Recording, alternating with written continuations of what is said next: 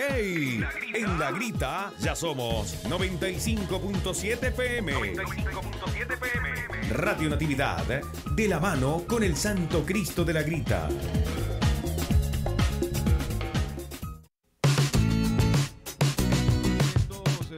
Próximos segmentos vamos a hablar sobre un tema eh, que suele ser interesante también que está en la luz pública. Este tema es sobre inteligencia emocional, pero también cómo podemos nosotros como católicos cristianos combinar el tema de la orientación, las herramientas que proveen también los psicólogos con el tema también de la confesión. Algunos tienden a confundir esto. Para hablar sobre este tema en los próximos segmentos nos acompaña el licenciado José David Redondo.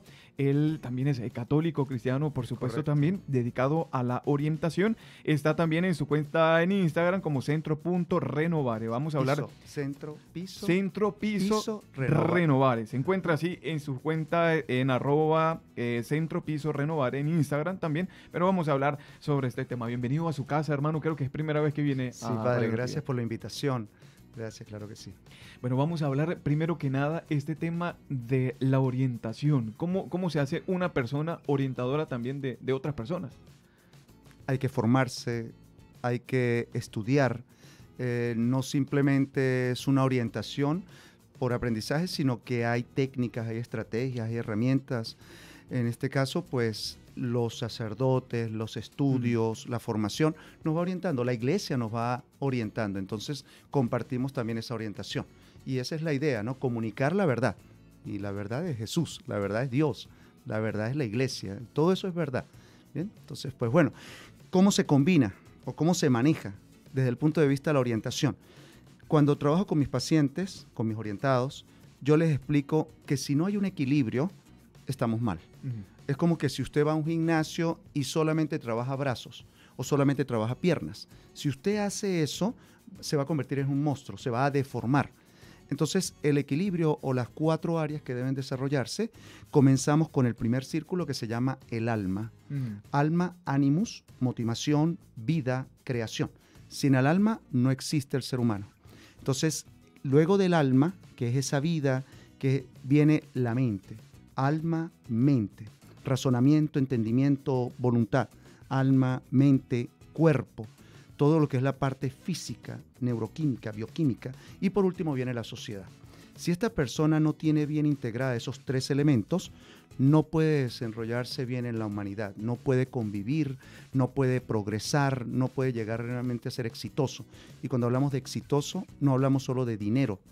Eh, mucha gente considera éxito dinero. Si no tengo dinero, soy un perdedor, no soy exitoso. Pero una persona que tiene paz, tranquilidad, serenidad, que se acuesta, que duerme toda su noche, mm. que se levanta con una sonrisa, que regala una sonrisa, que tiene ánimo, que tiene un sentido de vida, podríamos decir que esa persona es exitosa. Es exitosa, sí señor. Bueno, vamos a hablar sobre este tema también de la orientación, las herramientas que promueven también eh, nuestros psicólogos y también el tema de la confesión. Usted me estaba diciendo eso, ¿no? Hay mucha gente que puede ir a la orientación, que puede ir a, la consulta psicológica y que se siente liberada, pero no hay absolución allí. Entonces la importancia tan necesaria en este momento de regresar ahora a, Dios también a través del sacramento de la reconciliación. ¿Cómo promueven ustedes esto, estos temas eh, que a veces tienden a ser... bueno, lo primero, lo primero es el respeto y la libertad. Eh, Dios nos hizo libres y por lo tanto cuando un paciente llega al consultorio, yo hago una anamnesis, hago una valoración, hago un diagnóstico, le pregunto si cree en Dios, mm. si no cree en Dios, si está de acuerdo con alguna inclinación religiosa o no. Si el paciente me dice, disculpe, pero en mi caso eh, soy católico, y entonces yo le pregunto, muy bien, si usted es católico, ¿va a misa? Eh, no. Eh, ¿Se confiesa? No. ¿Comulga? Es hmm. decir, ¿tiene esa relación? No. Entonces no tiene muy claro lo que es ser católico. Solo dice que es católico porque fui bautizado, porque quizás se confirmó, pero no tiene un conocimiento pleno de lo que es ser católico. Es decir, no lo lleva de la teoría a la práctica. No hay práctica, no hay fe. Entonces, bueno, desde allí comienza la orientación. Eh, se respeta a cada persona, Dios pues da sus tiempos. Y si Él me dice soy cristiano evangélico, entonces me enfoco es, ¿cree en Jesús? ¿Cree en Dios? Sí, está practicando, está buscando de eso. Así que es mm, la orientación de un orientador es distinta a veces quizás a otros orientadores. Nosotros no podemos imponer.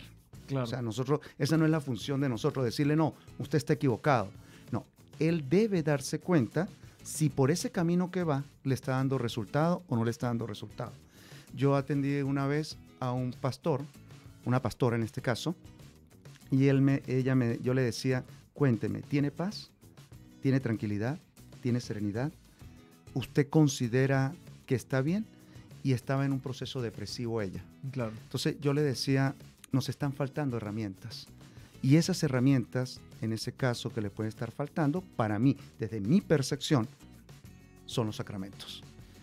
Entonces, eh, mi trabajo a veces no es tan sencillo por el principio de confidencialidad, Claro. por todos estos elementos. ¿Qué se les enseña? A ser feliz. ¿Y qué hago yo? Bueno, si es de un equilibrio entre la parte espiritual, la parte humana, la parte cognitiva, yo saco la Biblia y digo, ¿a cuántas personas usted le guarda rencor o resentimiento?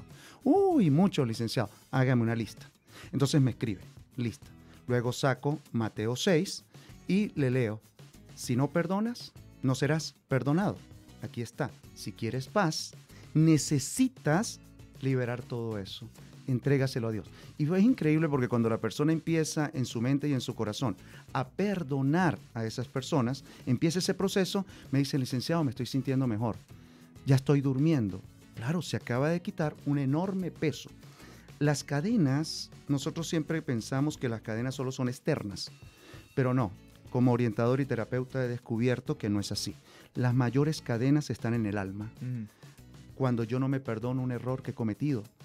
Una señora, yo le comentaba, ella me trajo a su hija y me dijo, licenciado, para que atienda por favor a mi hija, no hace caso, no obedece, no sigue Ajá. instrucciones. O sea, me dio una lista. Yo le dije, sí, señora, pero ¿me permite primero hablar con usted? No, licenciado, la paciente es la niña. Yo Claro. necesito que usted hable con ella. Señora, disculpe, usted es la tierra que alimenta a su hija con su mirada, su gesto, su actitud, su tono de voz, sus creencias, todo eso. Necesito hablar con usted. Licenciado, creo que es una pérdida de tiempo. La, el problema es la niña. Mm. Entonces yo le dije, señora, creo que debería de buscar a otro especialista. ¿Pero por qué si me lo han recomendado a usted? Sí, pero tiene que buscar a alguien que haga las cosas como usted dice. Y si está buscando un especialista es para escuchar otra voz. Claro. Está bien, licenciado. Dígame, señora, si en este momento Dios la llamara a usted, ya le llegó el momento, a todos nos va a llegar el momento. Nacemos, vivimos, Dios nos llama y a ser felices eternamente. ¿Dónde cree usted que iría? ¿Al cielo o al infierno? Y ella se me quedó mirando a los ojos profundamente y me dijo, al infierno. Yo sé que si muero en este momento, me voy a ir al infierno.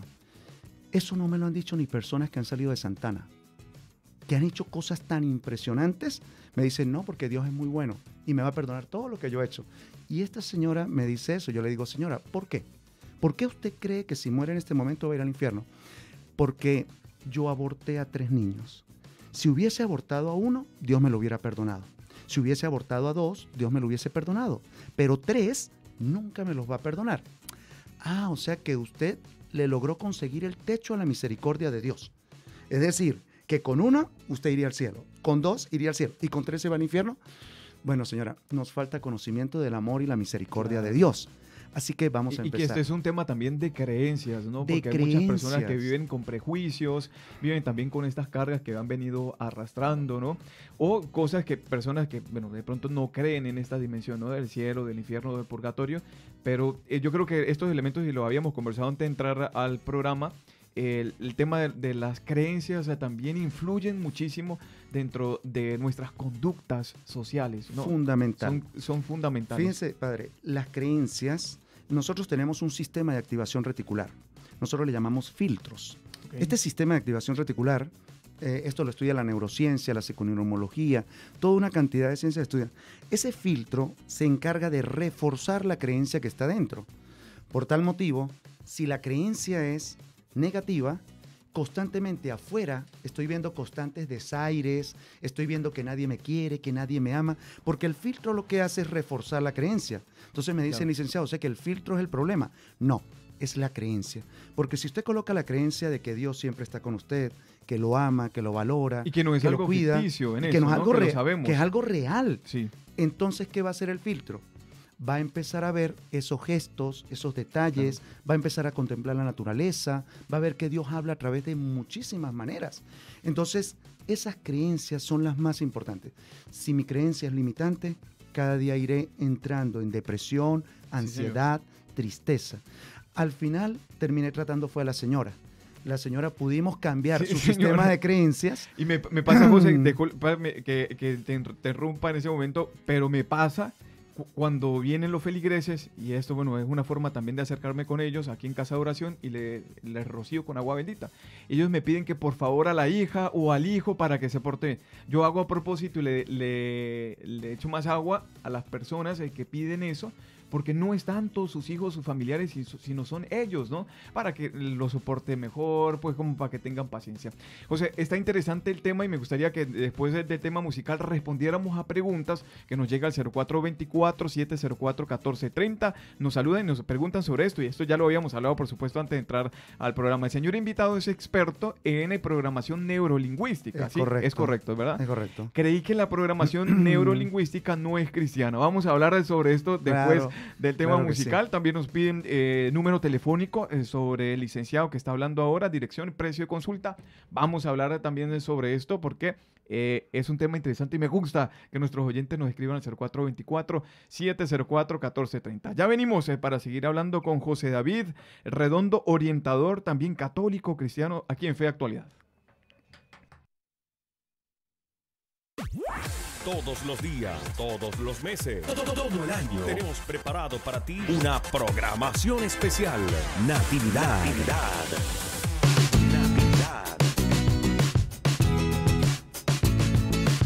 Son las 11 y 28 minutos en Venezuela de este 12 eh, de julio del año 2023. Estamos conversando con José David Redondo, él es orientador también católico cristiano. Eh, ha quedado en el segmento anterior una pregunta que ha hecho los oyentes a través del 424 704 1430 sobre el término de programación neurolingüística. Eh, bueno, no tanto en términos, sino que el tema de la programación neurolingüística es cristiana o no es cristiana. Algunos se preguntaban si es verdaderamente eso. ¿En qué consiste? Primero vamos a mm. aclarar en qué consiste la programación neurolingüística, que es un término pues, que, ha salido a flote en los últimos años y que se ha venido aplicando a través de la psicología.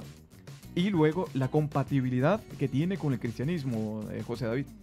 Sí, eh, dos personas se unieron y buscaron a los mejores terapeutas a nivel mundial. ¿Por qué él se había convertido en el mejor terapeuta? ¿Por qué ella se había convertido en el mejor terapeuta? ¿Qué hacía él y qué hacía ella? ¿Qué hacía que diera resultado, la ayuda significativa? Entonces ellos crearon un modelo. Bien, yo de eso trabajo lo que considero que me sirve. El resto lo elimino. Hay muchas cosas de la programación neurolingüística con las que no estoy de acuerdo. Sí, o sea, yo, uno tiene que tener un discernimiento. Entonces, por dar un ejemplo, hay un esquema en la programación neurolingüística que dice que las palabras generan creencias, que las creencias generan pensamientos, que los pensamientos generan emociones, que las emociones generan una conducta, mm. que la conducta genera un hábito, mm. el hábito genera nuestro carácter y el carácter genera nuestro destino. Bien, esos ocho pasos que establece la programación neurolingüística. Actualmente. Sí. ¿Cómo hago yo? Bueno, primero yo digo, ¿qué ocurre si la palabra es positiva? Si la palabra es positiva, es decir, yo agarro una cita bíblica. Exacto, la palabra. Agarro la cita bíblica. Es el la mismo verbo, que es, el mismo, verbo. Entonces yo agarro y les digo, lea esa palabra. Esa palabra, si se repite y se repite generando una jaculatoria, todos sabemos muy bien la importancia de las herramientas las das en consulta también. Esas herramientas se trabajan en consulta, porque la jaculatoria es estar en mi mente rumiando, profundizando, meditando a la gracia del Espíritu Santo. Entonces, esa palabra ¿qué va generando por repetición todos los días? El Señor es mi pastor, nada me falta. O este, Jesús, hijo de David, ten compasión de mí. ¿No? Si yo estoy diciendo esa jaculatoria, que es una frase bíblica, va generando un estado de creencia, porque las creencias es eso. Tú puedes establecer o creencias negativas o creencias positivas. Yo di una conferencia donde coloqué una, una escalera en el centro, había muchos profesionales, había de todo allí, y les pedí que hicieran una columna y pasaran por debajo de la escalera. Un doctor me dijo, disculpe licenciado, pero yo no voy a tener siete años de mala suerte por este taller.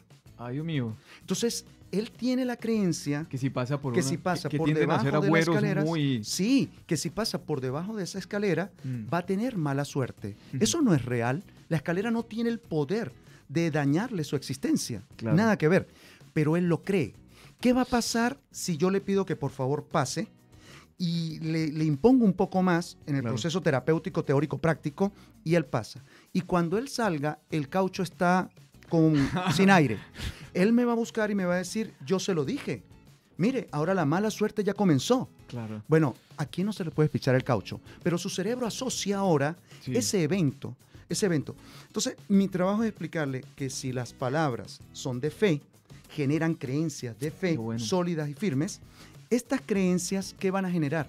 Pues generan imágenes y sonidos que nosotros llamamos pensamientos. Por eso la parte consciente y la parte inconsciente. Cuando nosotros hablamos de un diálogo interno, en mi parte consciente es lo que yo deseo hacer. Mi parte inconsciente es lo que tiene más fuerza. Y si esto es negativo, entonces yo empiezo un negocio y al poquito tiempo lo quiebro. No avanzo. ¿Por qué? Porque mi creencia es de muy difícil, no puedo, Sí, voy a fallar. Entonces, palabras, creencias, pensamientos. Intrusivos, aversivos, si son negativos. Pero ¿qué pasa si, lo- si la creencia es positiva? ¿Cómo son los pensamientos? Claro. Yo me atrevo a decir, y me disculpan ustedes los que están escuchando Radio Natividad, que el mejor programador neurolingüístico fue Jesús. Fue Jesús en, en esto, cuando nos habla de que hay que pedir como si ya estuviésemos recibiendo, Es correcto. de que si nosotros tenemos un padre que se ocupa de los pajaritos, ¿cómo no se va a ocupar de nosotros? Este, este tipo de, de- de lo que nos ha transmitido Jesús, lo que nos ha revelado, es, es una nueva forma de vivir, una nueva forma de ser. Y si creemos y ya tenemos en este aspecto la palabra, nos fundamos desde la palabra, empezamos a, a creer, empezamos a vivir en, en- en fe, pues nuestro mismo comportamiento va a ser transformado.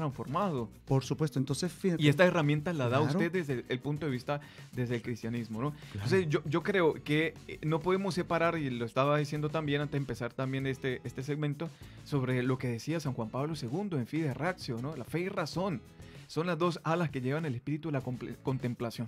Pero ahora, para hablar de sobre, sobre este tema también, eh, José David, tenemos que aprender a eh, escoger a nuestros psicólogos, escoger también a nuestros orientadores. ¿Cómo podemos, y herramientas también que nos puede dar José David para poder escoger a nuestros orientadores? Sí. Si somos cristianos, ¿no? Si somos cristianos, si somos creyentes en Dios, si queremos llevar a nuestros hijos hacia esa área, yo cuando doy las conferencias, doy los talleres, cuando doy las convivencias, yo siempre les digo, mire, antes de que usted lleve a su hijo con un psicólogo, con un psiquiatra, con un especialista en el área de la conducta, sea quien sea, yo le recomiendo que primero vayan los padres.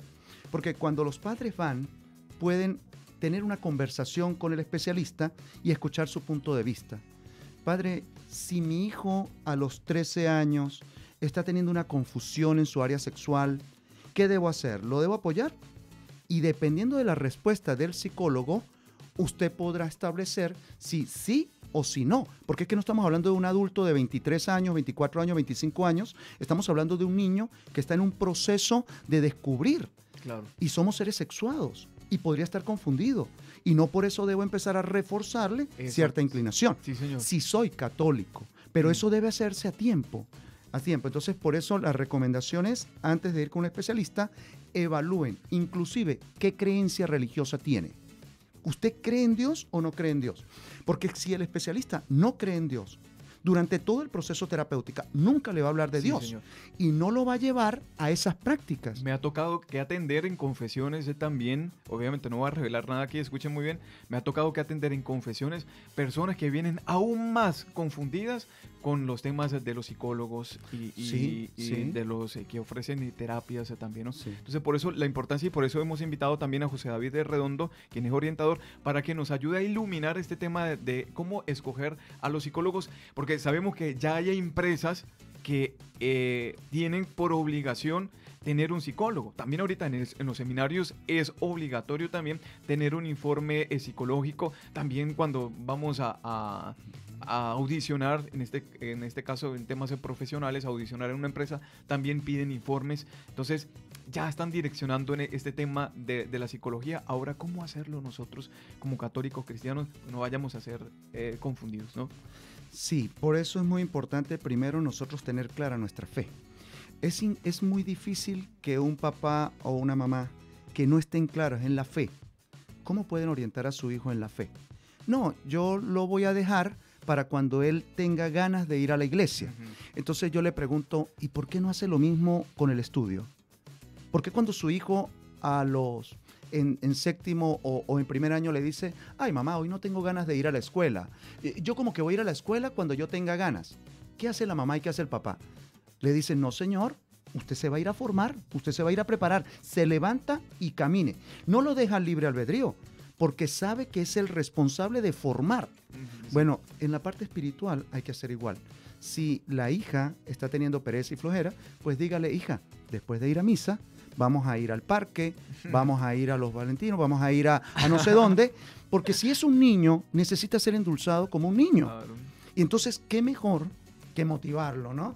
más que obligarlo e imponerle. Son dos cosas totalmente diferentes, ¿no? Bueno, José David, por aquí nos están preguntando un número telefónico, dirección, eh, la dirección sobre todo en redes sociales es Centro Piso Renovare, así lo van a encontrar, Centro Piso Renovare, para que ustedes se puedan encontrar pues también las herramientas, las consultas que ofrece ahora como orientador, pero también está el siguiente número telefónico para quienes están consultando, 0424 775 8661, repito, 0424 775 8661. Quiero decirle que no me están pagando nada y no es tampoco una publicidad, sino que quiero promover esto, me gusta. Estaba hace, hace rato buscando aquí en Fe Actualidad traer a una persona católica, cristiana, comprometida también, pero que eh, tenga esta eh, visión hacia la orientación.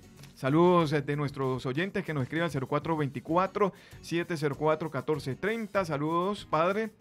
Al doctor, ya le hablan, le dicen doctor, ¿no? a nuestro licenciado tan especial. Da ánimo oírlo, que Dios lo cuide, esperando su número. Dirección también, un abrazo. Laida le envía este saludo. También, por favor, repetir dirección telefónica 0424-775-8661. Otro de los temas también, y eso lo vamos a hablar después de, este segmento musical, eh, José David, el tema de la inteligencia emocional. Eso ahí por en todas partes. Sumamente importante, Vamos a hablarlo después del tema musical. Excelente. Ya regresamos. Claro que sí. Estás escuchando Radio Natividad 101.7 FM en San Cristóbal y 95.7 FM en la zona norte. Seguimos proclamando la buena nueva al mundo.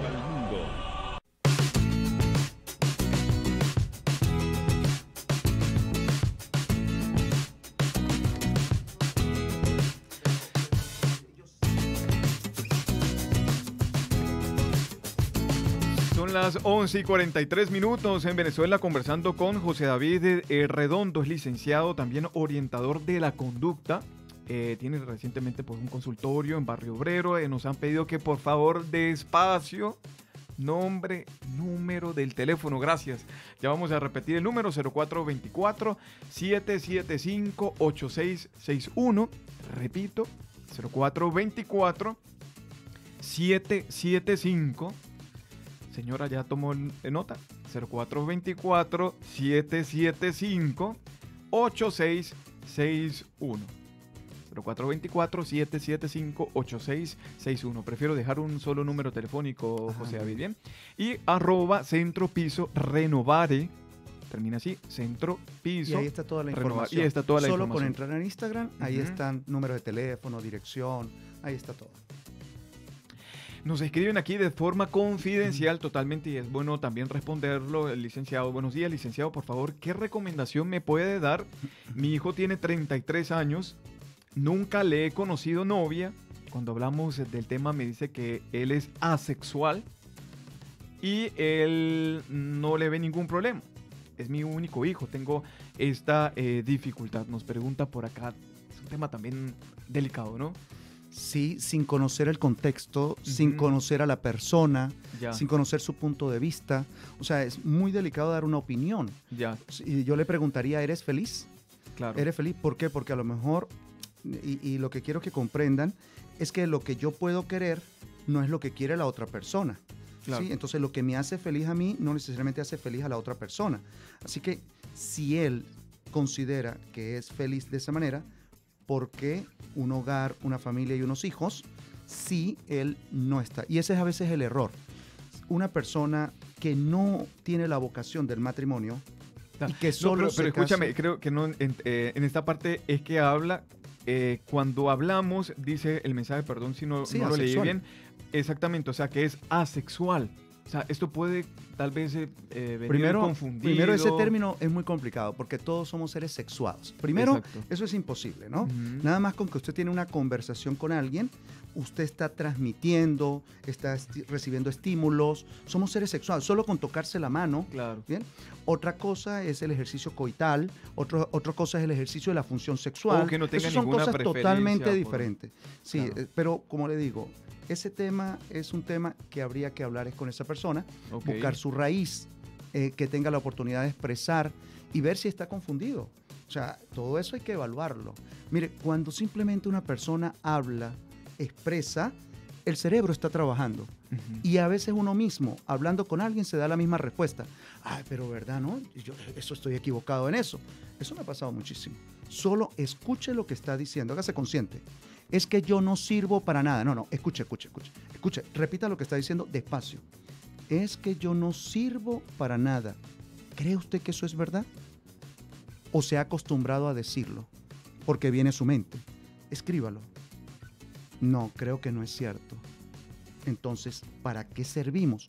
Todos servimos para algo no todos servimos para todo, pero sí todos servimos para algo, ¿no? Entonces habría que evaluar, como le digo, buscar una ayuda especializada, que esa persona vaya, se desahogue, se evalúa desde la niñez, la adolescencia.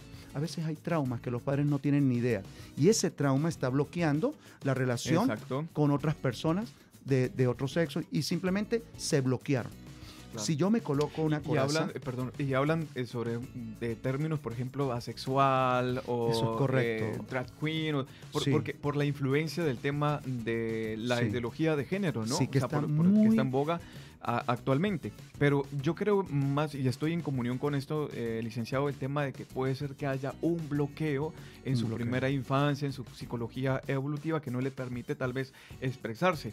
Y no ha encontrado las herramientas necesarias. Pero como usted decía también en torno a la primera opinión que estaba generando, eh, que dentro de la misma familia tienen que encontrar herramientas. O sea, no los podemos rechazar. No. ¿Ok? Atención por esto para quienes están escuchando eh, Radio Dios es amor. Dios es amor. Si Dios es amor, pero tampoco complacer el tema de, bueno, eres así, no importa, entonces te sigo. No, no, vamos a encontrar herramientas eh, que te ayuden. Y si no las tenemos, vamos a buscar a alguien que me brinde un equilibrio y es sumamente importante el equilibrio, ¿no? Eso para mí es fundamental, por eso. No sé si seguimos respondiendo algunas interrogantes que llegan al 0424. ¿Sí? ¿Te gusta eso? 0424-704-1430. Buenos días, por favor, para colocarle también a, eh, en oración. Ya le vamos a colocar también en oración a las personas que nos han solicitado por acá en el 0424-704-1430. Nuevamente, número telefónico del licenciado 0424-775-8661. Quedamos entonces en hablar sobre inteligencia emocional, eh, sí, la inteligencia emocional es la capacidad de sentir, entender, controlar y modificar estados emocionales, según Daniel Goleman, ¿no? Él, él estableció, psicólogo, que la inteligencia emocional es una capacidad. Si es una capacidad, significa que puede ser desarrollada. Por tal motivo, cuando yo hago un diagnóstico, evalúo hemisferio izquierdo, racionamiento, entendimiento, todo, todo lo que tiene que ver con coeficiente intelectual. Hemisferio izquierdo, racionalidad, análisis. Son capaces de leer, recordar párrafo tal, línea tal. Muy bien.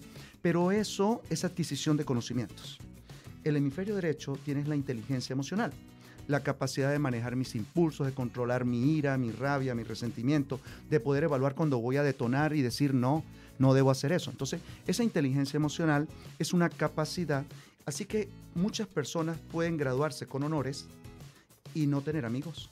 Entonces, se vuelve una vida muy sola porque me cuesta interrelacionarme socialmente con otros, generar empatía con otros. Una persona con baja inteligencia emocional podría no sentir el dolor del otro. Está viendo llorar a alguien y en su mente no siente absolutamente nada. es porque tiene baja inteligencia emocional. A un hombre en Transilvania, Estados Unidos, lo capturan, asesino en serie, y después de muchos años de haber matado muchas personas, lo logran capturar y viene todo un equipo multidisciplinario. Psiquiatras, psicólogos, terapeutas, orientadores, todo, todo, viene un equipo multidisciplinario. Y cuando van saliendo después de haber hecho el IQ altísimo, un coeficiente intelectual altísimo, y cuando van saliendo, eh, uno de ellos se devuelve y le dice, disculpa, cuando mataste a tu mamá y mataste a esos niños, no sentiste nada. Él lo mira a los ojos y le dice, no, no sentí absolutamente nada. Mm. De haberlo sentido, no lo hubiese hecho. Entonces, él demostraron con experimentos, con investigaciones, que aunque él tenía un alto coeficiente intelectual, tenía cero inteligencia emocional. Es muy importante que los padres puedan evaluar esto, puedan evaluar cómo está la inteligencia emocional de su hijo. Es decir, si se molesta con alguien, ¿es fácil que lo busque y se reconcilia, le pide disculpas? ¿O por el contrario, no? Y guarda rencor y resentimiento por mucho tiempo. Tiene baja inteligencia emocional y debe ser trabajado. Debe enseñársele. Mira, es tu hermano. No, pero pídele disculpas. Tú cometiste un error. Y cuando el papá le está diciendo a la mamá, pídele disculpas, pero de corazón, está estimulando el amor, la compasión, está estimulando la inteligencia emocional. Esa parte deportiva, si no desarrollan la inteligencia emocional, es difícil que pueda potencializar ese joven todo el potencial que tiene. Por eso me traen atletas de alto rendimiento. Aunque yo no sé nada de ese deporte y tiene su entrenador en ese deporte, mi trabajo es que pueda enfrentarse a eso sin miedo, sin temor, sin angustia, que pueda ir tranquilo. No, pero es que licenciado, cuando tienen que ir fuera de Venezuela a competir, es que ellos son mejores. ¿Quién le dijo a usted que ellos son mejores? Eso es una creencia y no es real. Esa persona está en su casa, en ese país, entrenando igual que entrena usted. Así que tienen las mismas oportunidades. El talento que hay aquí es el mismo talento que está allá. Él no es mejor que usted. Dé lo mejor en ese momento. Disfrútelo. ¿Cómo? Disfrútelo. Vaya a la competencia para disfrutar, no para ganar. Y cuando ellos van a disfrutar, sus capacidades se amplifican. Eso es terapia. Así que pues las terapias no es para estar, no es si estoy loco, no, no, no. Empresas me contratan para eso. ¿Por qué? No porque estén locos. Sé, que estás trabajando también con, eh, con colegios, con instituciones. en, sí, en las ciudades de San Cristóbal. Es correcto. Sí. Eh, me contrataron en una institución porque había un bullying excesivo sobre un joven. La mamá ya iba a sacar al joven y lo iba a retirar de la institución y la orientadora de la institución le dijo, mire, hagamos una prueba hagamos un último intento. ¿Cómo? Vamos a contratar a un especialista en el área de la conducta, vamos a traerlo. Y fue algo hermosísimo.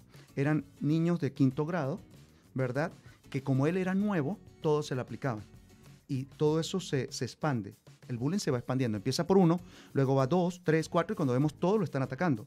Y fue tan hermoso cuando ellos le traían la vela y le decían, me disculpas, me disculpas. Y el niño llorando, este niño llorando, abrazándolos. O sea, fue algo muy hermoso. Los papás, porque yo trabajo hijos y padres, ¿no? Porque es muy importante primero hacer una valoración con los padres, luego me traen a los niños, se integran padres e hijos y luego se hace la terapia. Es un proceso terapéutico. Así que se pudo ayudar, no fue necesario sacar al niño, pero a veces no buscamos esas ayudas. O sea, me decías también, eh, José David, que eso, o sea, si te dicen no venimos a trabajar con la parte espiritual, usted dice no. No, no, no se puede. No se puede porque, fíjate, podremos tener al mejor psicólogo, al mejor especialista en el área de la conducta, pero el que toca el alma y el que saca el alma, el que sana el alma, es Jesús. Sin la gracia del Espíritu Santo, sin esa comunión, es muy difícil, no se encuentra paz. Yo lo he comprobado a lo largo de todos los años que tengo trabajando en esto. es muy difícil.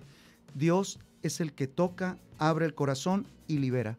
Así que una persona puede ir a todos los cursos de programación, inteligencia emocional, gimnasia cerebral, se los aseguro, puede ir a todos los cursos y solo ser adquisitores de información. Adquieren información, pero no llegan al aprendizaje. El aprendizaje es la puerta en práctica de ese conocimiento que se adquirió. Así que pues mis pacientes todos tienen que buscar esa parte espiritual, todos. E, es imposible que en mi consultorio no esté una canción de la hermana Glenda, de, ah, o sea, es imposible, o sea, no, no puede estar, que no esté la canción de... Es imposible. Sin la oración no puede haber paz, tranquilidad. Fíjense, mucha gente me dice, licenciado, pero usted explica respiraciones diafragmáticas con relajación muscular. O sea que usted está trabajando metafísica. Yo le digo, no, mira, una cosa es que tú crees y ayudes a la homeostasis. Dios te dio un cuerpo perfecto y tú tienes que saber cómo funciona. Cuando tú equilibras la homeostasis, que es la química, nos falta mucho por aprender cómo funciona nuestro cuerpo. Dios nos dio un Ferrari, escúcheme, y mucha gente no sabe ni cómo encenderlo. Nos dio un cuerpo perfecto y no lo sabemos usar, entonces creemos que solamente. Entonces yo le digo, una cosa es que en ese momento bajemos los niveles de estrés, estrés, aumento de cortisol, usted va a un laboratorio, se hace un examen de cortisol y sabe que está full de cortisol. Yo le puedo ayudar a que haya ese equilibrio. Pero esa es una paz temporal, es una paz momentánea. Usted de allí salió, ay, gracias, licenciado, qué paz tengo. Pero llegó afuera y en ese momento alguien le dice una grosería usted le respondió con tres groserías. ¿Qué pasó con la paz? Entonces es una paz química. Es una paz química temporal y momentánea. Así que yo les explico, esta paz le puede durar muy poco. Bien, vamos a buscar la otra paz. La otra paz es la paz que solo Dios da. Y creo profundamente en eso. Por eso estuve en una comunidad religiosa, por eso fui misionero. O no es teoría. Y sigue siendo misionero a través de estas herramientas que promueve a través de la orientación. Licenciado, quisiéramos tener muchísimo tiempo para seguir conversando porque esto, esto debe ser una conversación larga y tendida a través de micrófonos, de, cámaras, pero debemos llegar al final. Mucha gente nos está pidiendo su número y qué bonito también que podamos encontrar un orientador cristiano que nos dé esta herramienta y por supuesto que nos direcciona hacia el sacramento de la reconciliación y también de, de sin la, confesión, padre, sin los sacramentos es muy difícil. Miren, cuando, cuando tengo que tratar a una persona que es católica y me dice yo soy católico y le digo vamos de vuelta a los sacramentos, los procesos de terapia son muy cortos, se lo garantizo, padre. Simplemente con que se prepara, se hace una preparación, un buen examen de conciencia a través de los mandamientos, es decir, leemos lecturas y esta persona dice, es verdad, estoy fallando en esto, estoy fallando en esto. Hacemos un pequeño examen de conciencia. Pero aunque él se sienta muy bien y llore cuando hacemos ese examen de conciencia y él expresa todo eso, no se ha roto las cadenas.